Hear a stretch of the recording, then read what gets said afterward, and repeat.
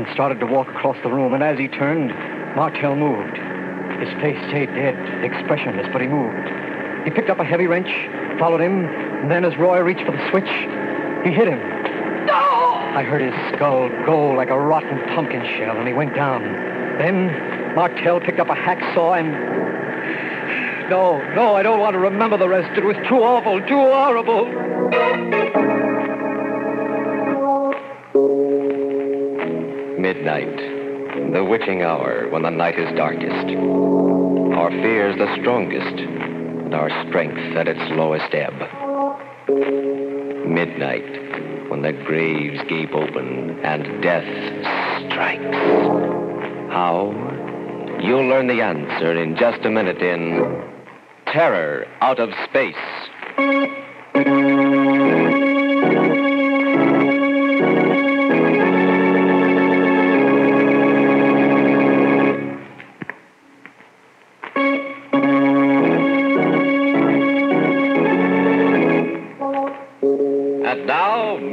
Midnight. Tales of mystery and terror by radio's masters of the macabre. Our story, which we prophesy will be long remembered as a classic, is by Robert Newman. A tale out of the news and out of man's deepest fears called Terror Out of Space.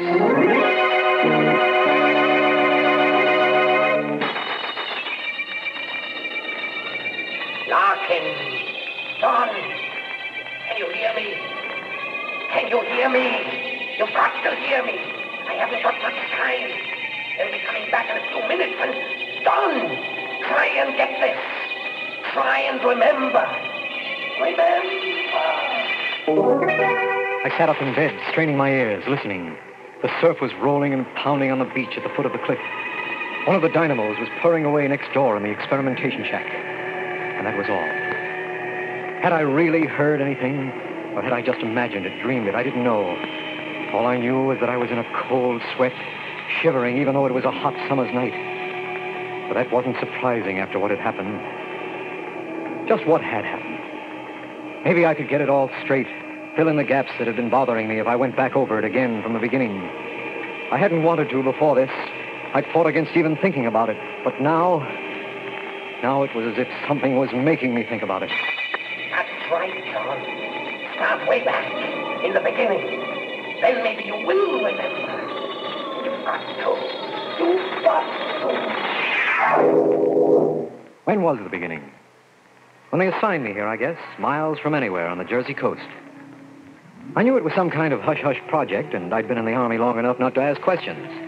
I had some ideas, though, and when I walked into administration and found Professor Martell there, I was pretty sure they were right. Lieutenant Larkin reporting for duty, sir. Hello, John. How are you? Fine, Professor. Uh, I mean, Major. Well, let's forget the major. I've been trying to. I think the Army's a little sorry about the whole thing, also. Oh, that's not the way I heard it. Some of the things you've worked out in the last few years was something. Quite a break, my getting assigned here. you think it was an accident? You, you mean you requested me? Of course. What did I take you away from, by the way? Oh, nothing very much. Straight communications, a little radar. Hmm. No chance to continue any of the research you started when you were at the university, huh? No. Afraid I've gotten rusty? Not really. But there are just going to be the three of us to do the bulk of the work. You, myself, and a chap named Roy Shields. He worked with Ramsey at Tech. And what's the project? Something big? I think so. We're going to try and establish radio contact with the moon. What? Theoretically, it shouldn't be too difficult, you know. Of course. It, and with the progress we've made during the war, we, well, Professor, it's terrific. One of the most exciting things I've ever heard of. think so? Well, don't you? Don't you remember when we used to talk about it in the lab? What it would mean to the astronomers, the astrophysicists, measurements that they've never even be, been able to take before? Yes, John, I remember. Well, then, I don't know. Somehow it. Well, it worries me. how are we're going to do it? No, that's all cut and dried. What's going to happen when we do do it? Well, what do you mean? We're reaching out, John. Reaching out into places where man has never been before. We're pretty close to the secret of matter, to the origin of life, and to the mystery of the universe. Sometimes. Sometimes I become a little afraid. Afraid that we may stumble on something that's too much for us, too big and. that's silly. Go pick out a bunk and get some rest, John. Tomorrow, we go to work. The work, I remember that all right, weeks of it.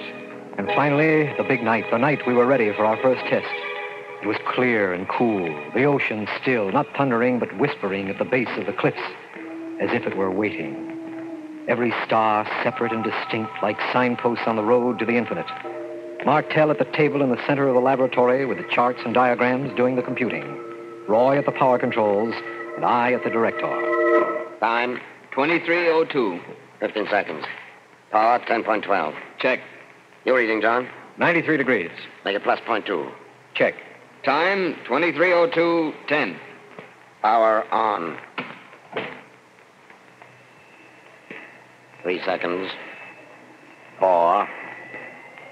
Now. How long to wait? We should get it almost immediately. Lag of not more than. There, listen. Huh?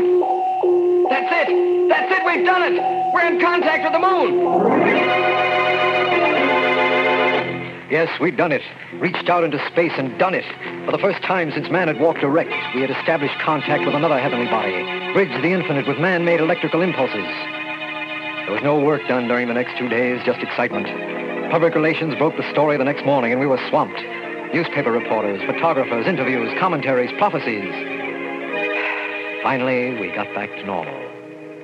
And a couple of nights later, yes, it's starting to come back to me now. I remember. I remember. It was the sound of the generators that woke me. I looked at my watch, almost midnight. Roy was asleep in his bunk, and I didn't wake him. I padded out along the duckboards to the laboratory. The lights were on. I went in, and there was Professor Martell. He was sitting at the control table, and he was, well, he was funny. His eyes were open, but he didn't seem to see me. I said, Hello, Professor. He didn't move. Didn't answer. I took a quick look at the control board, and the frequency had been changed. A little uneasy, I, I tried again. Professor, what are you doing? And then, then something very strange happened. Half of him came alive. His right side first. His right eye lighting up, while his left eye stayed dead. His right hand twitched, while his left one remained stiff. It was just for a fraction of a second. Then, What? Oh. Hello, John. hello, Professor. Anything the matter? Matter? What am I doing in here? I don't know, sir. I heard the generators go on, and I came in and found you here. Strange. Very strange. I went to bed about 10.30. Ever walked in your sleep before? No, not that I know of. Because I haven't been sleeping too well lately. Very disturbing dream. Did you change the transmitter frequency that way? No, sir. You must have done it yourself in your sleep. Funny.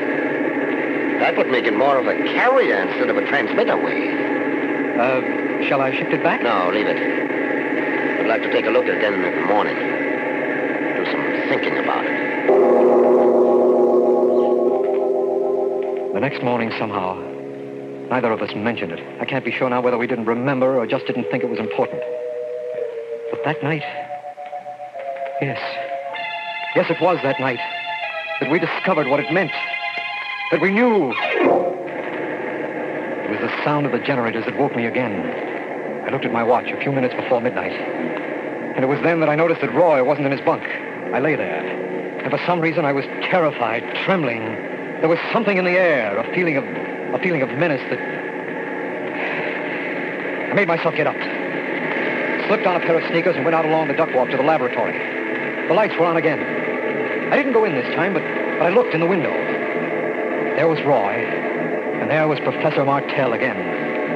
He was sitting at the control table with that, that sane, dead look on his face. And Roy was standing in front of him, talking to him. I could hear him through the window.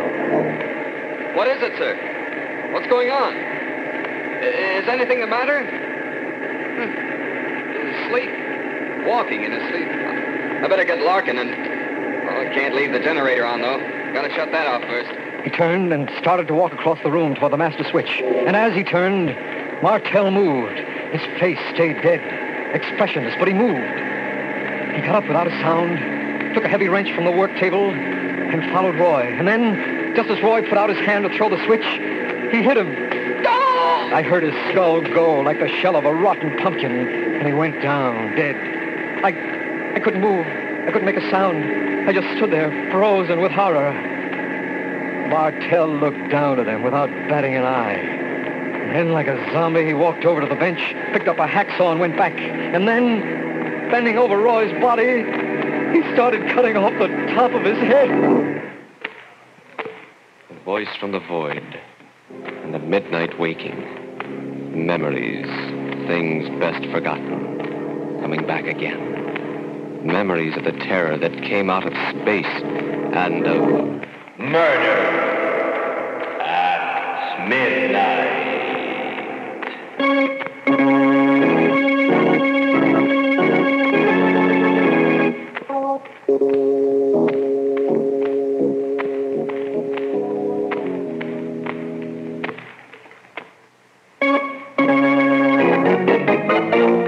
And now back to Murder at Midnight and Terror Out of Space. That was, that's all I remember then. When Professor Martell bent over Roy's body with a hacksaw in his hand, I must have fainted. When I opened my eyes, I was lying on the sand outside the shack, and there was Martell bending over me. No, Professor, no, no, don't, Why, don't. John, what's the matter? Leave me alone. Don't come near me. Don't touch me. I saw what you did in there. And where? When? Just now in the shack to Roy. Aren't you well either, John? What? What do you mean? I just came up here from the cottage. I had a bad dream. I've been having quite a few of them lately, and I woke up with a very annoying headache. I came out to take a walk, get some air. I found you lying But, here. but I, I'm telling you, I saw you. I saw you in there with Roy, and And what? well, I don't even want to think about it. But you killed him. Killed him? Huh. Let's go back to the bunkhouse, John. Take a look. The bunkhouse. Yes, when you see that Roy is where we should be, in bed, maybe it'll convince you that you either dreamed or imagined the whole thing. He led the way to the bunkhouse, and I followed. Still shaken, but starting to feel a little foolish. This was the Professor Martell I had studied under, known for years, the man who wouldn't hurt a fly. We went into the bunkhouse, and Roy's bed was empty. He wasn't there. Martell gave me a funny look and started calling. Roy! Roy, where are you? Roy! Without a word, we hurried back to the laboratory, and there was no sign of him there either. Nothing. Wait, he, he must have gone out for a walk too, Professor, or maybe jeeped into town. If it was true, there'd be something here. His body, blood. There, John. Well, right there, in front of the switch. But there's nothing there. No. Except that it looks as if this floor was just scrubbed. The floor. What? You're right. John, Huh? did you change the transmitter frequency this way? Oh, no, sir. You must have done it. Just the way you did last night. Last night? You mean something happened last night, too? You don't remember? No. Tell me what you saw happen tonight. Everything you remember, whether you believe it now or not. Well, it was. It was pretty terrible, Professor.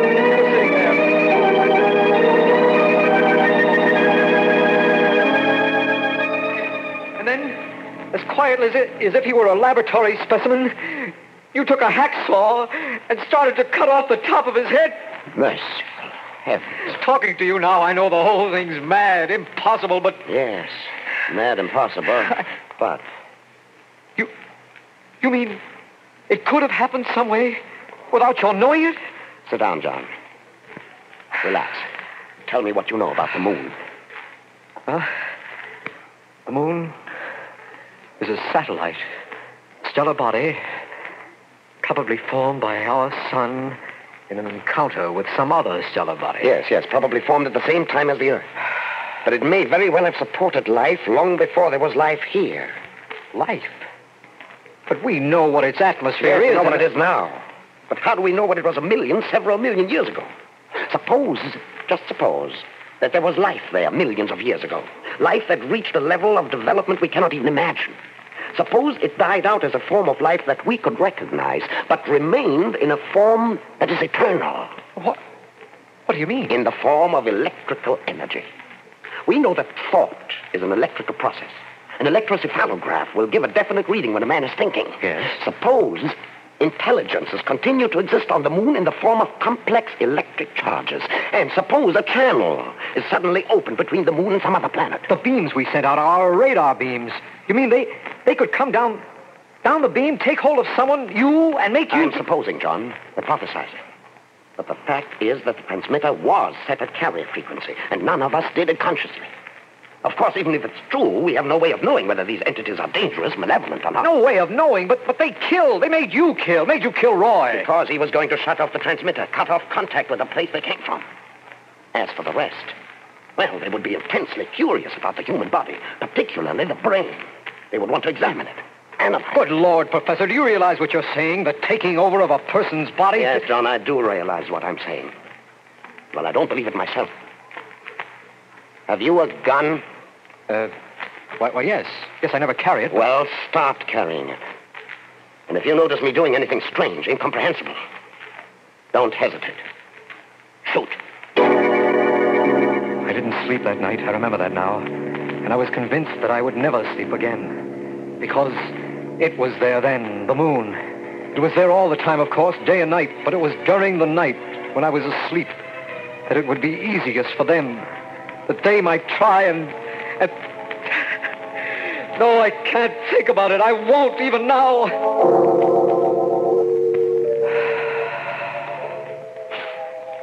With the daylight, I felt a little better. Roy hadn't come back, but, well, there were a dozen possible explanations for that. I went to have another talk with Professor Martell. And he was gone, too. His bed was empty, as if it had never been slept in. I waited until about noon. Then I called headquarters. I had decided that I was going to tell them only facts, things I could believe myself. Hello? Hello, Colonel. This is Larkin over at Radar Experimental. Oh, yes, Larkin. How are you? Uh, pretty good, sir. Uh, I'd like to report that both Sergeant Shields and Major Martell are missing. Huh? Missing? Uh, What do you mean? I don't know, sir. They were both gone when I got up this morning. AWOL, eh? well, that's my fault. You men have been working awfully hard. Now, I meant to suggest that you take leaves. Uh, why don't you go missing, too? Oh, no, sir, I, I couldn't. Not right now.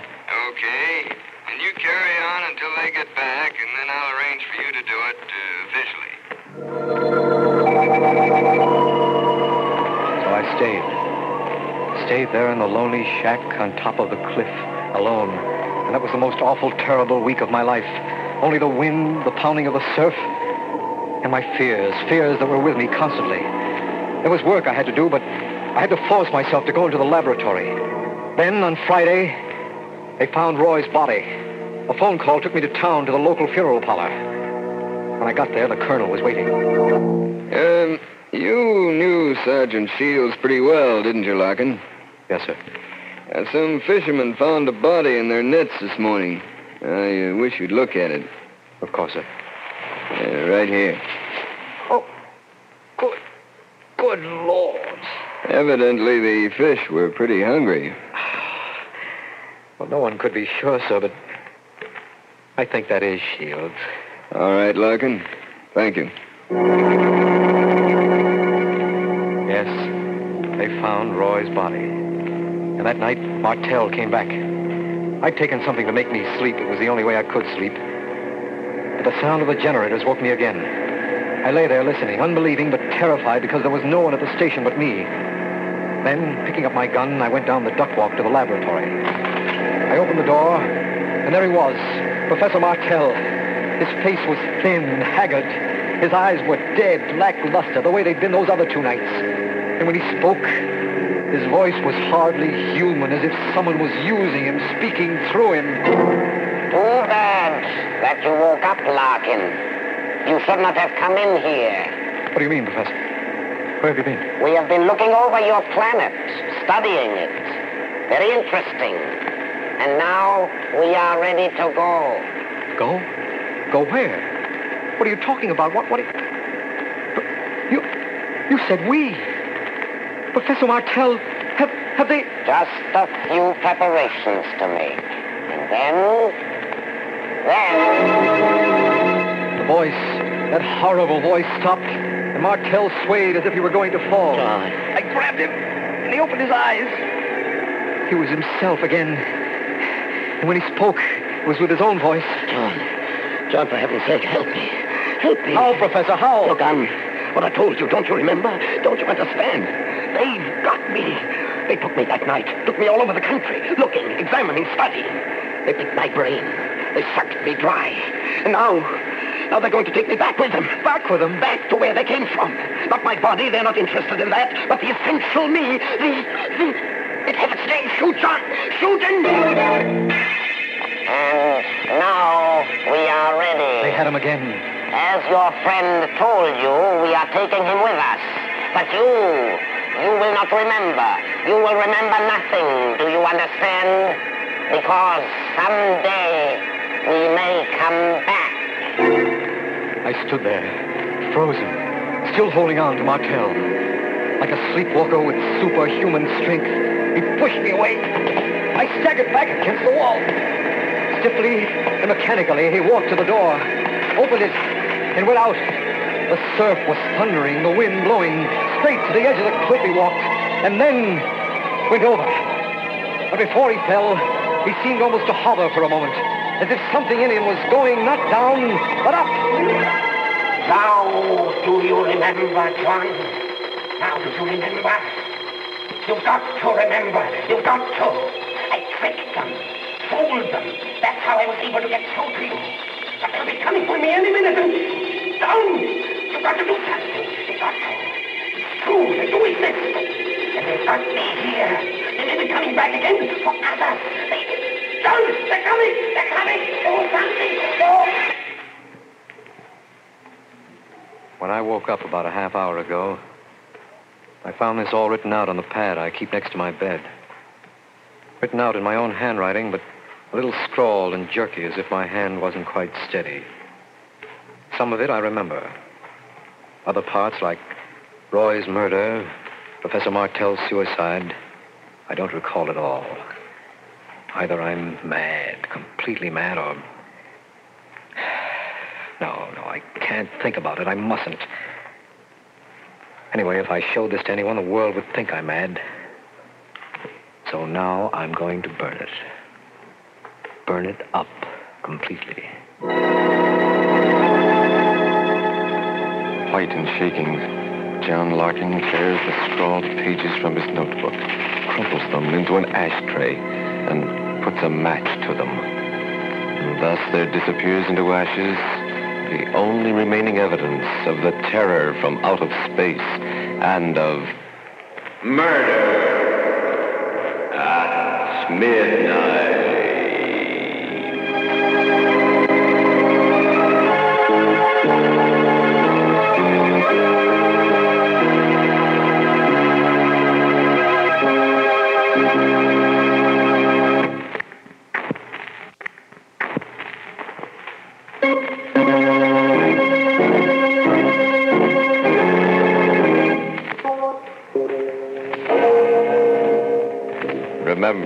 With us again when death comes in some unknown form. And the clocks strike 12 for murder at midnight.